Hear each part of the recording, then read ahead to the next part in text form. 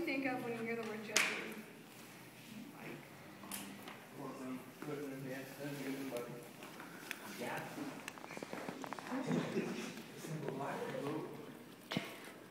Um, Judy.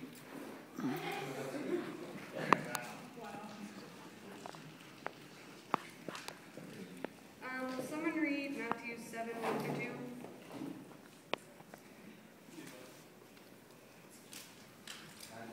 Seven one. Through two. Do not judge or you too will be judged. For the same way you judge others, you will be judged, and with the measure you use, it will be measured to you. Yeah, um, it's saying, um, don't judge, and God will put you in your place if you do.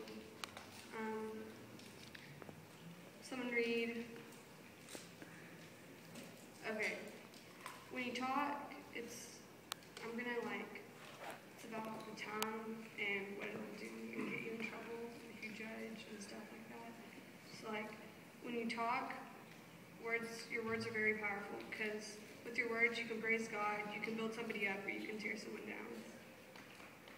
With our words, we don't need to judge anyone. And will someone read Matthew, uh, Romans 3.10?